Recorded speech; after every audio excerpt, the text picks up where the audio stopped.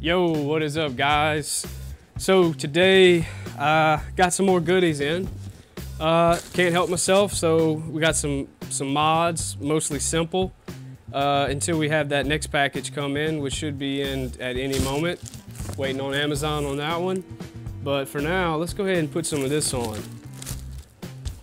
All right, so I got a headlight cover today. We're gonna switch that up and take off the white one and put on a yellow one. So that's pretty cool because I'm going with a completely different look as far as the plastics go. I got the same hand guards I got on there already, but these are gonna be black. And also got the side covers that are gonna be black, the side covers that hadn't come in yet. So we'll put those on, it's easy mod. Uh, the chain guard with those rims, I didn't really care for them too much because it, the chain guard was a little too close to the tire for my comfort. It didn't hit, but uh, it's a universal chain guard. Nothing really special, but it's red, so uh, we'll see. It might look cool. Uh, and then um, DRZ 400 graphics kit. Really, it's like half a graphics kit. It's not gonna be the whole thing, but some of this will go on this and possibly on the side of the bike, so we'll see. But yeah, we're gonna slap that on this at least. So that's really it for that. And then once the Amazon truck gets here, I'll have a big surprise for you guys. A power surprise. A powerful surprise.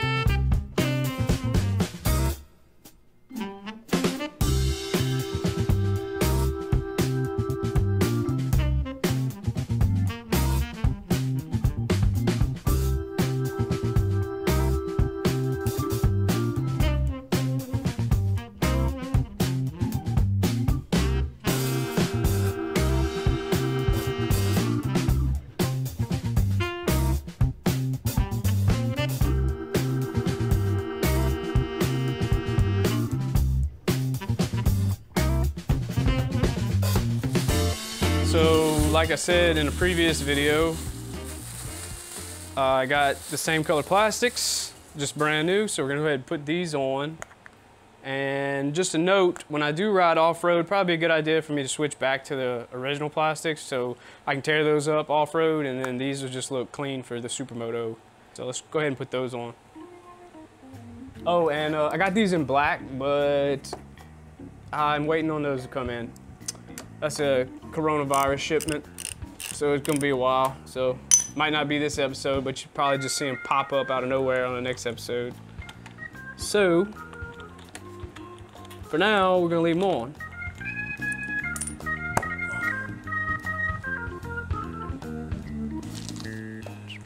It's not gonna look much different, but it's gonna be real cool.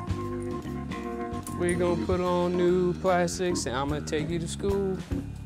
I'm adjust the seat too while I'm at it. Remember I said the uh, the damn seat kept popping out? I think I'm gonna try to like lunge it forward if that's a thing that can happen.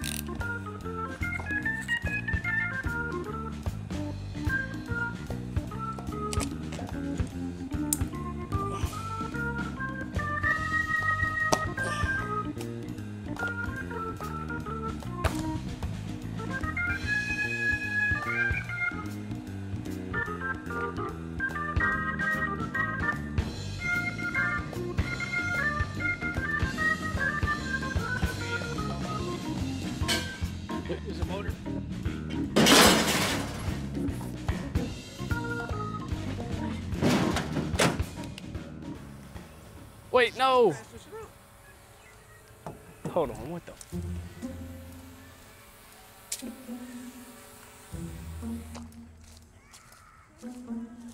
Hey. God damn. Yes, ma'am.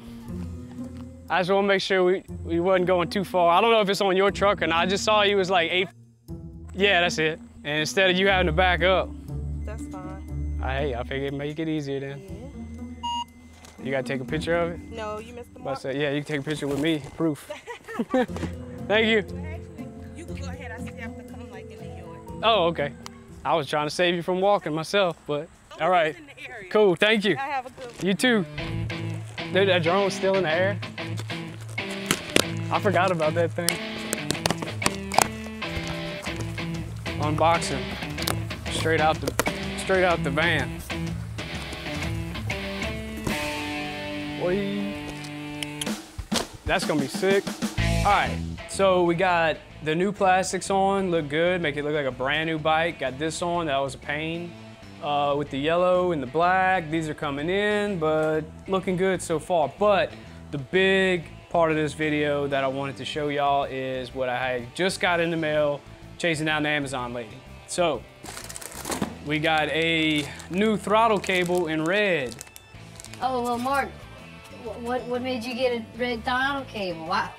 That, you, you already have a throttle cable, you just wanted it red. No, I got a whole new carburetor right here, boy. And I think that I can make this fit and make this bike wake up even more. Yeah, we did the carburetor mod, but that's an old style CV carb, nothing special, kind of just mediocre carburetor. This carburetor, y'all might hate me because I'm pretty sure this is Chinese. I couldn't get a direct answer if it was or not. One website said Italy. I don't think so, but apparently this is a really good quality carburetor, even if it is Chinese. So, you know, if you want to go buy a Mikuni or a Keihin, fine. Don't hate me for buying this. It was at a good price and it seemed like it had good quality and it comes with some jets and stuff like that. So if this works and I decide to change my mind and I want to get a Keihin or a Mikuni, I can do that. But for now, I think that this is gonna look sweet because of the color and the coating that's on this carburetor, but also it's gonna wake this bike up even more um, because it's like a flat slide carburetor. Uh, PWK is what it is. 32 millimeter is the size. So hopefully it fits in the boots. If not, I'm sending it back and I'm ordering the right size. But this was a guess, so I'm just really hoping it works.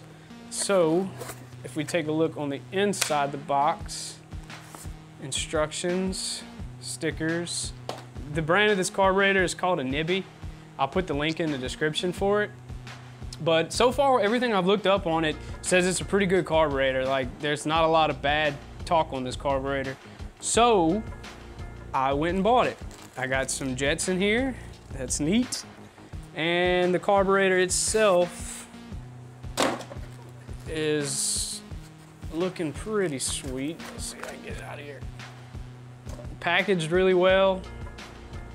All the boring looks really smooth on it. I mean, dude, this thing is actually pretty sweet quality. And it has red on top. Like, I'm not disappointed in this one at all. I think this might be the key for the DR200. It's pretty sweet. So, get that shot too. I'm thinking, uh, let's put it on. Take the old one off and hope it fits. This one's probably about 55 millimeters. But like I said, if it's not the right size, I think I got the right size. If it's not, I'll order a new one. And also what's good about this carburetor, um, it has uh, quality control marks on it, so that's a definitely a good sign. Uh, got quality control marks all over it, so that tells me that there's actually quality control. So I, I can't find anywhere where it says made in China, but I don't know. We're gonna have to see. Is it a good one or not? First, let's take this carburetor out.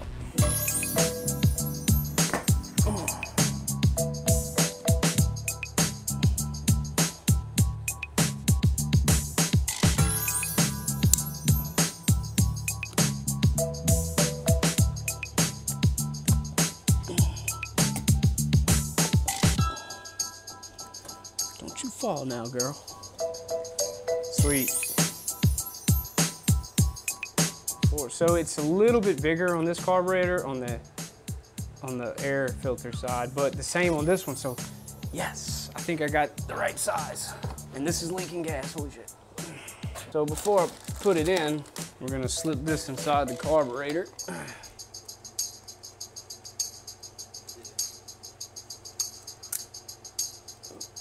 Spring a laying dang.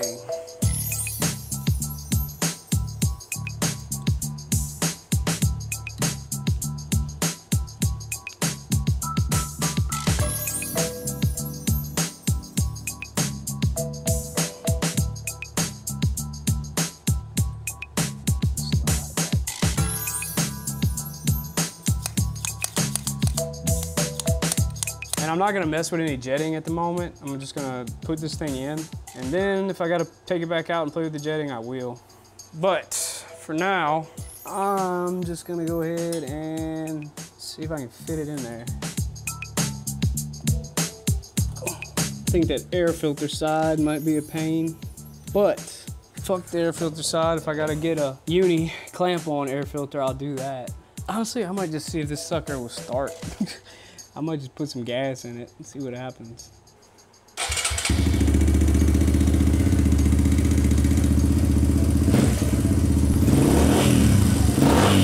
Holy shit, dude, that's so much more responsive. Are you kidding me?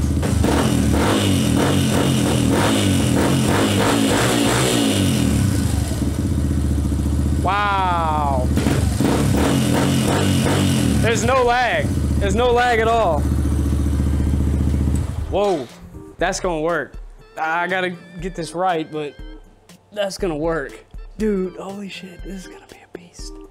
And it started right up. It's it started right up. I mean, no, I gotta I gotta tune it, yeah, but I mean, I'm talking. I push the button and it. What? Cool. I gotta run this throttle cable through here. Okay. I fished that through. Now I gotta plug it in. Old throttle cable out. New. No, I was afraid of that. It don't fit. I gotta get a new throttle. Well, the throttle cable assembly that is on for your throttle stock DR200, it does not fit with this throttle cable. So I'm gonna order the Nibbi handle to where that throttle will work with that. I'll order that tonight. The only other problem I'm having so far is that this carburetor does not quite fit inside of the boot here. Fits perfect in the uh, intake side, but not on the air filter side. Now, that's not a problem. Worst case scenario, I'll just put a uni air filter on there and take this box completely off. However, I wanna use this box and keep it stock if I can. So it's not a, a big difference. I think I can slip it on there. It's just gonna be a tight squeeze. So I'm gonna try to work that on, but if not, I'll buy a uni air filter instead of the uh, stock air filter box. So we'll see on that. But so far, I just put the carburetor in and barely tightened the boot on the intake side, and the bike started right up with the jetting and everything that came from the box. Now, I'm sure I'm gonna have to tune it, because no, it's not running great, but so far, if you just do this, that's the carburetor straight out the box. Now, if I had a throttle cable, I'd be able to do this a little better, but it's not running the best, but it's running pretty damn good, considering. And, and, and just from that, I know I can just feel how much more responsive this carburetor is gonna be on this bike. I thought I tuned it well with the uh, CV carb. Nah, this is going to shit on the CV carb. This is gonna make more power out of this bike and I can feel it now. We'll find out for sure whenever this is all said and done, but I got a good feeling this is gonna wake this bike up even more than what it already was. So far, I mean, that's the only problems I ran into. I think I'm gonna make this work. I'm gonna order a new throttle assembly from Nibbi tonight on Amazon. And when I get that in, we'll finish this video. And I'll put all the links in the description for everything I'm doing here. So, so far, this is fairly easy. You know, you gotta have a little patience with it, but I slapped it right in and it's working. So that's awesome. I guess I'll catch y'all immediately because time is different when you're watching a video, but I'm gonna go order some stuff on Amazon. I'll be back in like two seconds, but it'll probably be two days. So uh, here we go with the parts. Well, that was a quick two days. So I uh, put the other throttle cable on and I ordered another one, but in red. Two different brands because I didn't know which one I would like more, but this one's pretty neat. This one's all aluminum, so that's pretty cool.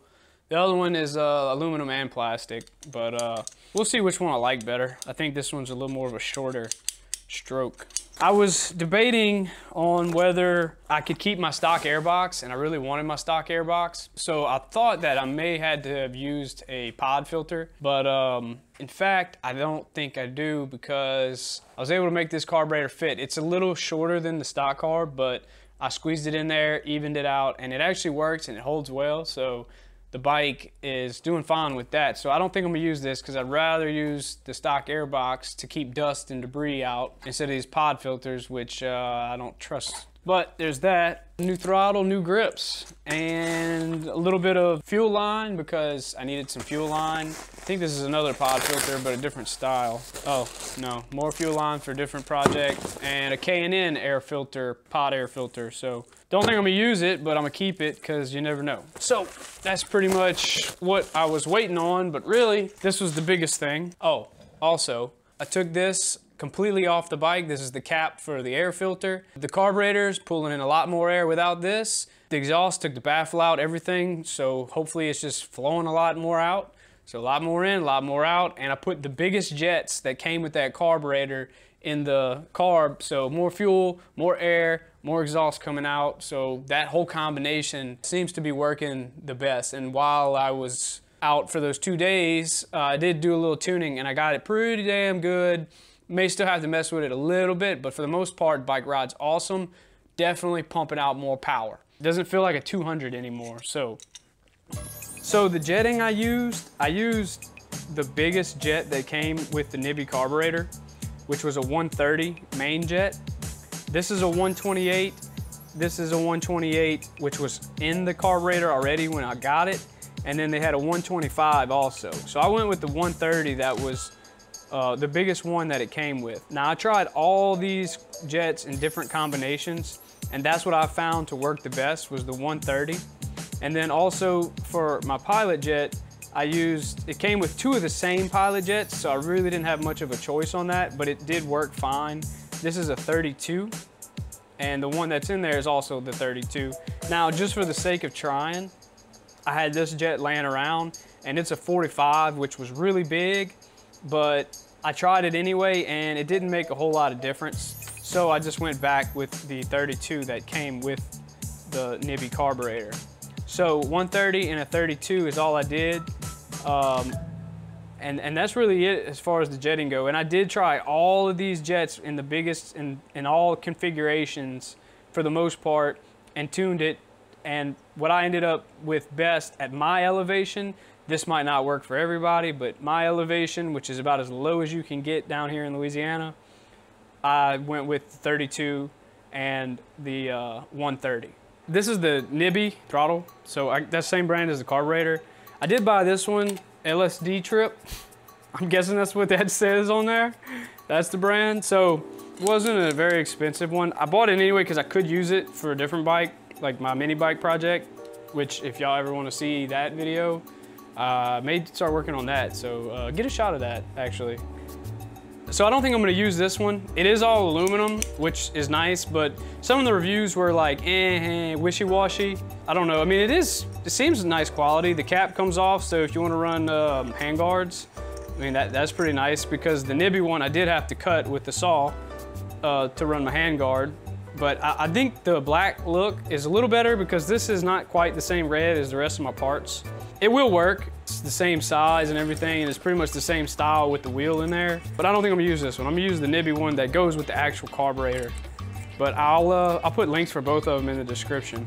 So, that being said, since this one's already on, I'm gonna put some grips on it and uh, we'll be good to roll.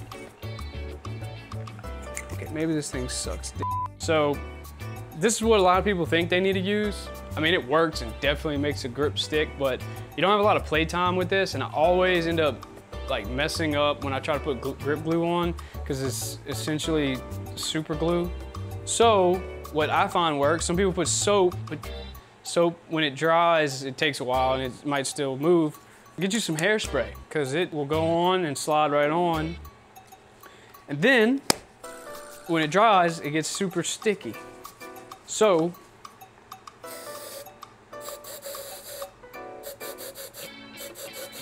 try not to get it on my hand too much. And don't let your girlfriend know that you have it.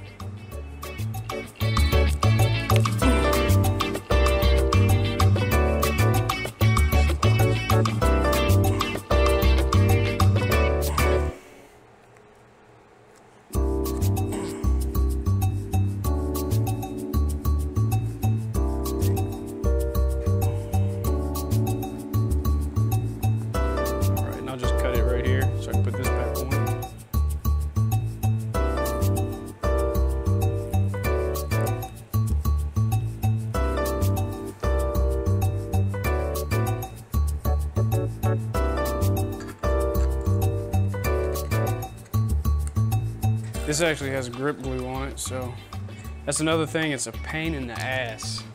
I mean, a pain in the ass to get grip glue off.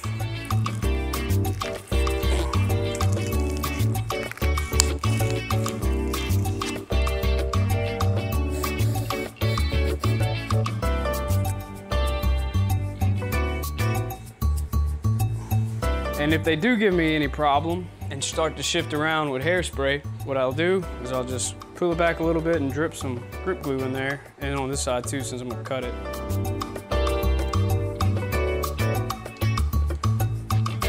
So I'm sure y'all wanna hear this. I'm gonna uh, probably do another video on actually riding the bike and how it performs, unless we get to that in this video. But I just wanted to show you how it runs and how it sounds with everything I've done to it so far. So you got the cap off for the air filter, the baffles out the pipe, the aftermarket FMF pipe. The jetting is pretty much the biggest jets they'll go, which I think is a 30 is what it came with. And the new carburetor. Just so you know, a cold start, that's the header, grabbing it, still holding it. Cold start on this bike. Starts right up. It sounds pretty good. Now, let's rev it from cold. Well, we'll let it warm up just for a second. So,